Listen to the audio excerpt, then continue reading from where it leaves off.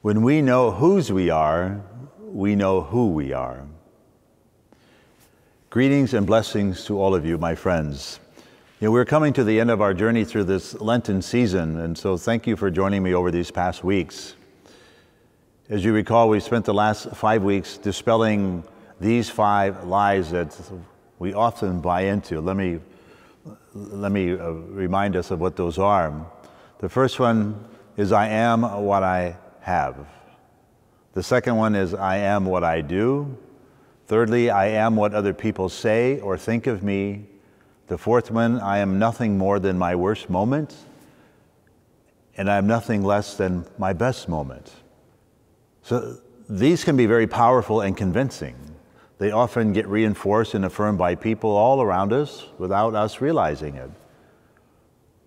And they can easily become our identity, how you and I, how we define ourselves.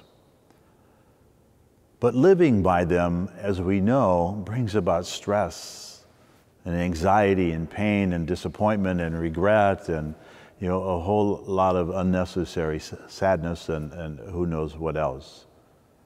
This is not the Lord's will for you. This is not the Lord's will for any of us. The Lord's will for each of us is that we live our true identity as beloved sons and daughters created in God's image and likeness. You and I, friends, we are defined by God's grace. And as I said last week, our truest identity isn't something that we create or build ourselves. It's a gift we receive whereby we become adopted children of God, beloved sons and daughters, partakers of God's divine nature. We are given a new life in Christ, becoming co heirs with Him in a temple of the Holy Spirit. This is what happens in the sacrament of baptism. This is what the catechumens are looking forward to in coming into the church on Holy Saturday night at the Easter Vigil. So I invite you to pray for them that they will embrace wholeheartedly this new identity. You know, Pope St. John the 23rd was once asked, So, what was the most wonderful day of your life? Was it when you were made a priest or a bishop or when you were elected the Pope? And he answered without pause, Well, the most wonderful day of my life was the day of my baptism. For on that day I belonged to Christ and his church. I mean, how beautiful is that? You know, baptism is the great sacrament of belonging and of identity. When we know and embrace who we belong to, then we know who we are. You know, for Jesus, his baptism was supremely the moment when he learned his deepest identity, when he learned to whom he belonged, when he heard the words from his beloved Father, This is my beloved Son, in whom I am well pleased. You know, Jesus' baptism, the Spirit comes down upon Jesus. Um, the Father expresses his delight in Jesus, but most importantly, Jesus' essential identity is proclaimed This is my Son. And remaining faithful to his identity as the Son of God would ultimately lead Jesus to his death for each and every one of us.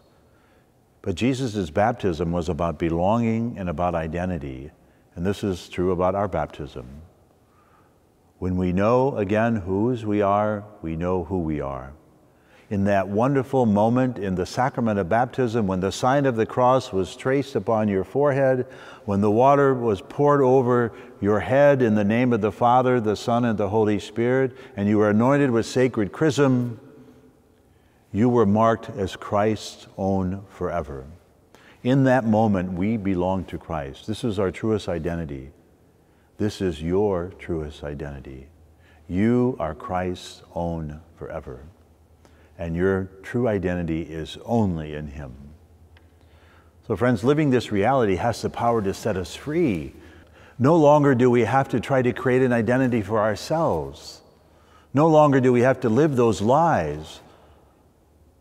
Nor do we need to look for our value in things or from others. Nor do we have to try to earn God's love. We belong to God, and God already loves us more than we can possibly imagine. So, our challenge is to become who we already are. Let me say that again. Our challenge is to become who we already are. You know, so often we find it hard to accept and to celebrate and truly embrace that unique person that God has created us to be. So often we spend time wishing we were someone else or something else. So I would invite you over the course of this next week, it's Holy Week, as we prepare for the celebration of Easter, take some time and contemplate the gift of your baptism, whereby you were given your deepest identity in Christ Jesus. It was the most defining moment in your life and should be celebrated as such, at least on par with your birthday. Have a birthday party on the anniversary of your baptism, celebrating your birth into the life of God's kingdom. Also in prayer this week, return to the baptism of Jesus. This is Matthew's Gospel, chapter 3, verses 13 to 17, and allow the Lord to speak to your heart, saying that you are his beloved son or his beloved daughter. Let that sink in. Let that sink in. And during this Holy Week in prayer, meditate on one of the Passion stories. You know, this is the great act of love, the greatest act of love in human history. The moment when the Lord opened the gates of heaven for all of us. This was the event that has led to your deepest identity. So I want to thank you for being with me over these last six weeks. I hope that what has been shared has been beneficial to all of you, um, if nothing more than to remind you of who you really are. So have a blessed Holy Week and a happy Easter, and may God bless you.